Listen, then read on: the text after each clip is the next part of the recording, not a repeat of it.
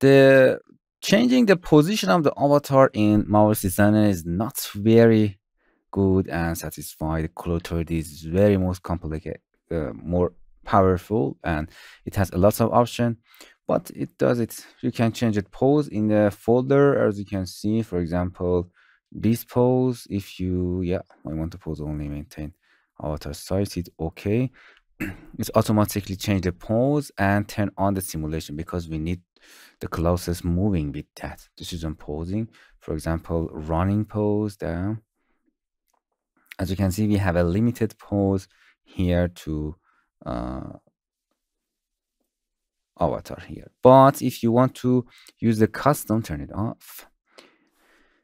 If you want to use a custom changing position of that, you have to go in here and change show X-ray joint.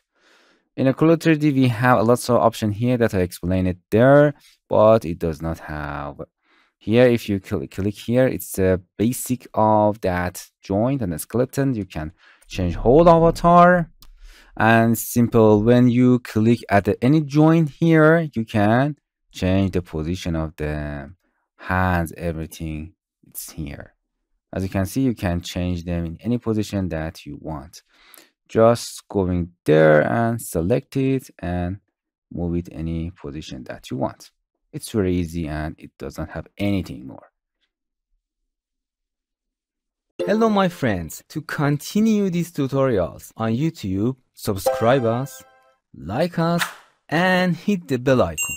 And now you will be alerted about all of the amazing videos that we release.